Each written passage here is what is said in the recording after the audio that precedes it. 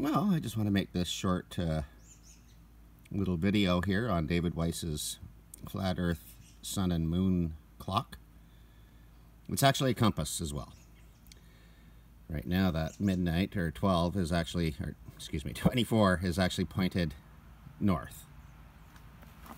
And I've lined it up with the, pointing the hour arm at the sun.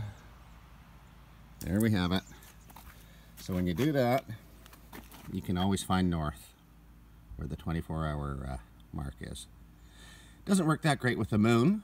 I notice the moon's usually about 10 degrees or roughly out. But uh, daytime, no problem. You got yourself a compass. Great job, Dave.